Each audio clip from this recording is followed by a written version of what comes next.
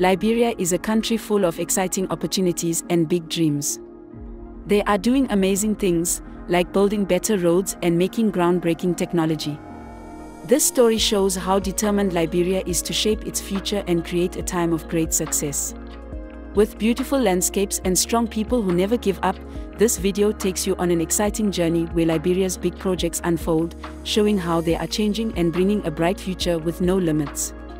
If you enjoy videos on this channel leave a like and a sub so others can see this.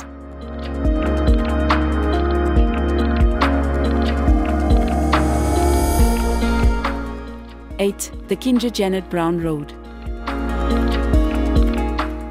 The construction of the Kinja Janet Brown Road, which will connect Kinja to Jenna Brown and neighboring villages in Liberia, has commenced. This road project includes the rehabilitation of certain sections. The road's completion will greatly improve access to essential services like healthcare and reduce the inconvenience caused by lengthy travel.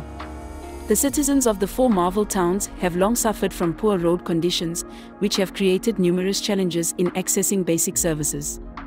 The county authority will closely oversee the entire road construction process, ensuring its successful implementation. 7. The Liberia Inland Storage Facility. In a significant development, the construction of the Liberia Inland Storage Facility is set to commence soon. The project is a result of collaboration between Infraco Africa CPCS, Transcom, Liberia Global Logistics Services Group, and BNC Group Construction Company. Spanning an impressive area of 4,600 square meters, the facility will be equipped with a cutting-edge rooftop solar hybrid system, comprising solar photovoltaic panels, smart switches, and monitoring systems. Situated nearly 10 kilometers away from the free port of Monrovia, this facility aims to optimize energy usage while decreasing reliance on diesel and stabilizing carbon emissions. Furthermore, it is anticipated to serve as a model for similar facilities in the region, potentially leading to a significant reduction in carbon emissions. The storage facility will greatly benefit businesses by streamlining their supply chains, minimizing stock holding and damage, and ultimately lowering costs for end consumers. 6. The Liberia Special Agro-Industrial Processing Zone Project. This project aims to facilitate the establishment of a thriving agri-hub in Buchanan, located in the Grand Bassa County of Liberia. It accomplishes this by providing the essential external infrastructure required to attract and secure private sector investors and developers. The overarching objective of the Liberian government in embarking on this venture is to drive private sector investments into a burgeoning industrial park, thereby stimulating agricultural transformation, generating employment opportunities, augmenting exports, and bridging the socio-economic disparity between urban and rural areas. To ensure the smooth implementation of this endeavor, the project offers technical assistance in the establishment of the Liberia Special Economic Zone Authority and lends support in developing the necessary skills and agricultural value chain capabilities. In collaboration with the Federal Development Bank, the goal of this collaboration was to conduct comprehensive project feasibility studies on the Agri-Hub in Buchanan, as well as three agricultural transformation centers situated in Bong, Nimba, and Cape Mount counties. The detailed reports resulting from these studies were finalized in 2019 and officially presented to stakeholders and the government in February 2021, marking a significant step forward in this transformative initiative.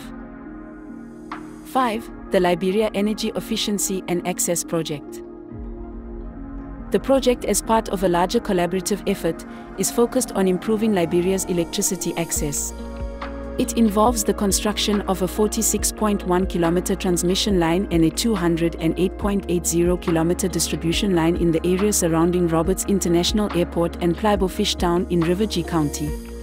This initiative is supported by the Norwegian government, the World Bank, and the European Union.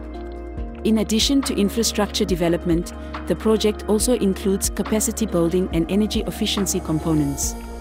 Its main objectives are to enhance electricity accessibility for the Liberian population, promote energy efficiency, and strengthen the institutional capacity of the electricity sector. By expanding the transmission and distribution network, improving accessibility, promoting energy efficiency, and providing training for skilled professionals, the project aims to uplift the energy landscape in Liberia. 4. The Roberts International Airport Highway. President George Weah of Liberia officially commenced the expansion and rebuilding of the Roberts International Airport Highway, known as the RIA Highway. This 45 kilometer project, estimated at a cost of $95 million, aims to convert the existing two lane road from ELWA to RIA into a substantial four lane expressway. The RIA Highway serves as the primary transportation route for residents, goods, and services between six out of Liberia's 15 counties. President Weah revealed that initial funding for this venture was secured through negotiations involving the ECOWAS Bank and private capital. Under President Weah's administration, the project was initiated and successfully completed. Upon its completion, the RIA Road will undergo a remarkable transformation, becoming a cutting-edge four-lane highway equipped with essential features such as advanced lighting and comprehensive road safety facilities. 3. The Renewable Energy Project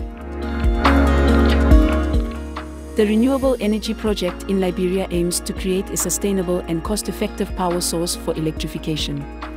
The project involves the development of the run-of-river Gbedin Falls HPP, which will have a total capacity of 9.34 megawatt. Located along the Street John River in Nimba County, the power plant will be connected to the existing cross-border line between Liberia and Cote d'Ivoire through an 8-kilometer, 33 kilovolt evacuation line. This initiative will enhance the reliability of electricity supply, facilitate grid expansion to isolated areas, and encourage the connection of more households, schools, health centers, businesses, and industries to the national grid. 2. The two Monrovia Metropolitan Climate Resilience Projects. To achieve climate resilience in the coastal areas of Monrovia, the two Monrovia Metropolitan Climate Resilience projects require a shift from short-term measures to long-term integrated planning. This approach involves the active participation of the public, private sector, and communities across all levels of governance. By constructing a rock revetment, the project aims to shield West Point from storms and coastal erosion. The proposed project addresses the challenges faced in adapting to climate change in the coastal region of Monrovia. Approximately 10,500 residents of West Point will be protected and equipped with the necessary resources to enhance their climate resilience. This effort will prevent potential property losses amounting to $47 million, affecting both private and public properties. Furthermore, the project will facilitate fishing boat launches, benefiting the local fishing industry. Supported by the United Nations Development Programme and the Green Climate Fund, the Monrovia Metropolitan Climate Resilience Project has the overarching goal of safeguarding the lives, homes, and livelihoods of hundreds of families and a quarter of a million individuals residing in coastal areas. Additionally, it aims to protect vital infrastructure, including schools and fish landing beaches. 1. 1,000 housing units for low-income earners project.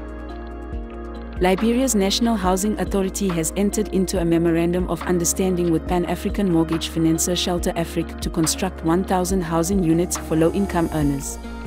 This collaboration, led by Shelter Afrique CEO Andrew Chimphondah, aims to develop a total of 1,100 social housing units in five phases, with an estimated cost of $30 million. This initiative establishes a framework for a public-private partnership agreement outlining the responsibilities of the Liberian government and Shelter Afrique. The government of Liberia, through the Liberia's National Housing Authority, will provide land, infrastructure, and a sovereign guarantee to all participating lenders. Meanwhile, Shelter Afrique will offer financial solutions, advisory services, and research reports to support the project. The construction plan aligns with the Liberian government's National Housing Initiative, which seeks to construct between 50,000 to 80,000 housing units across the country's 15 counties. Each block in this project comprises 24 units and can accommodate up to 40 blocks. In wrapping up, Liberia shines a much needed spotlight on the nation's incredible journey towards rebuilding its infrastructure and reviving its economy. Through unwavering determination, collaborative efforts, and innovative approaches, Liberia has admirably tackled the obstacles of post conflict reconstruction, forming alliances with global organizations and embracing sustainable methods to foster inclusive progress. The narratives of resilient communities, skilled workforce, and forward-thinking leaders truly underscore the vast potential of Liberia's construction sector and its profound influence on the lives of its people. As Liberia pushes forward, these construction endeavors stand as a powerful testament to the remarkable combination of perseverance and unity, paving the way for a brighter future for the nation and its citizens. If you enjoyed this video leave a like and a sub and we'll see you in the next one.